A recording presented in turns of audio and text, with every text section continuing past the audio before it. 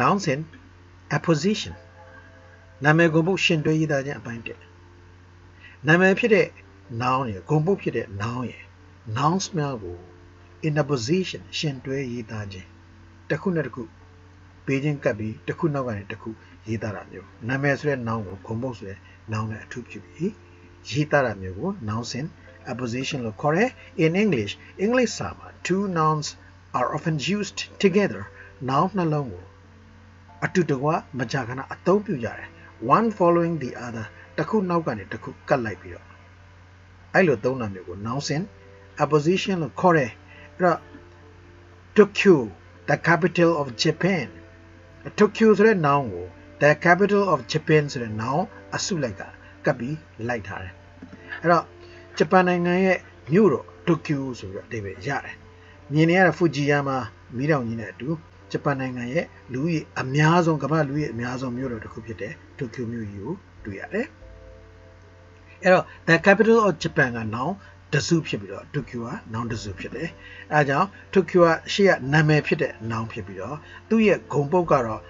ရှေလျာထွေပြားစွာနဲ့ဖြည့်ဆွက်ပြီးပြောဆိုရတဲ့ noun phrase တစ်ခုဖြစ်တယ်ဒါကြောင့် the capital of Japan ဆိုတဲ့ noun phrase နဲ့တွဲထားတယ်သူလဲ noun ပါပဲသူလဲ noun ပါပဲ obvious ရှေ့မှာ noun obvious နောက်မှာ noun ရှိတယ် article တဲ့နောက်မှာ noun လိုက်တယ်ဒါကြောင့်ဒီကအစုလိုက်က noun phrase လို့ခေါ်တယ်အဲ့တော့သူလဲ noun သူလဲ noun လို့ပြောလို့ရတယ်သူကြတော့အစုလိုက်မလို့ noun phrase လို့နာမည်ပေးတာဖြစ်တယ်အဲ့တော့ရှေ့က noun ကိုနောက်က noun phrase ဆိုတာအထူးပြုတယ်ဂျပန်ရဲ့မြို့တော် Tokyo ဒီလိုအဓိပ္ပာယ်ရတယ်နောက်တစ်ခုဥပဂျီ the great Myanmar artist အဲ့တော့မြန်မာနိုင်ငံရဲ့ကြော်ကြားတဲ့ ပကြီးဆရာတဦးဖြစ်တဲ့ပကြီးဥပကြီးမင်္ဂလာတော်လေးစိတ်မှာလဲသူ့ရဲ့လက်ရာကိုတွေ့မြင်နိုင်တယ်လို့ရွှေသွေးတွေမှာဇတ်တော်ကြီးတွေပုံမြင်နေဇက်လန်းလေးတွေမြောင်များစွာရေးဆွဲခဲ့တဲ့ပကြီးကျော်ပကြီးဆရာကြီးဥပကြီးဖြစ်တယ်အဲ့တော့ဒီရှေ့က noun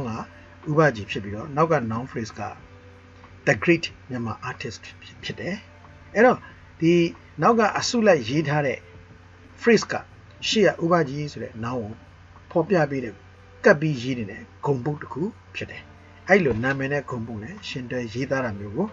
noun စဉ် apposition လို့ခေါ်ပါတယ်ဒါကြောင့် the second noun ဒုတိယ noun အစုလိုက်ကြီးက tells us တို့ပြောပြတယ် something about the first noun ပထမ noun ရဲ့အကြောင်းတစုံတရာကိုပြောပြတယ် the second noun tells us something about the first noun the second noun tells us something about the first noun ဆိုပြီးတော့မှဒုတိယ noun အစုသည်ပထမ noun အကြောင်းတစုံတရာကိုပြောပြတယ်ဒုတိယ noun အစုသည်ပထမ noun အကြောင်းတစုံတရာကိုပြောပြတယ်ရှေ့က noun သည်နာမည် noun ဖြစ်ပြီးတော့နောက်ကအစုလိုက်ကြီးဟာဂုံပုတ်ဖြစ်တယ်ရှေ့က noun သည်နာမည် noun ဖြစ်ပြီးတော့နောက်ကအစုလိုက်ကြီးဟာဂုံပုတ် noun ဖြစ်တယ်အဲသတိထားမှာသူတို့ရဲ့ဂျားထဲမှာ comma တစ်ခုရှိတယ်သူတို့ရဲ့နောက်မှာလည်း comma တစ်ခုရှိတယ် တနည်းအားဖြင့်ဂုံပုတ်ရဲ့ရှေ့နောက် noun phrase ဖြစ်တဲ့ဂုံပုတ်ရဲ့ရှေ့မှာရောနောက်မှာရော comma လေးတွေပါရှိတာကိုသတိထားဖို့လိုတယ် comma အသက်ဖြစ်တယ်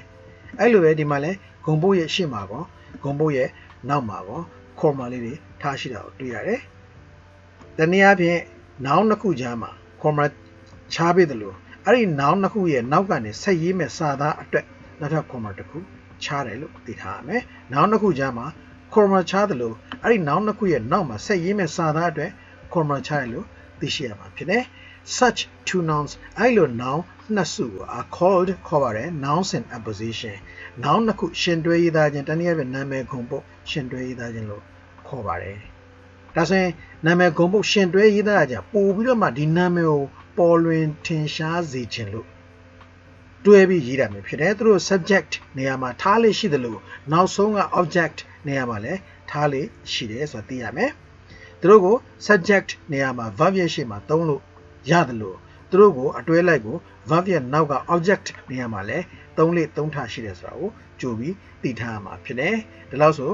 နေတန်းပြိုးတဲ့ noun စဉ် apposition ကိုဒါတို့သမီးတို့နားလည်မယ်လို့ယူဆပါတယ်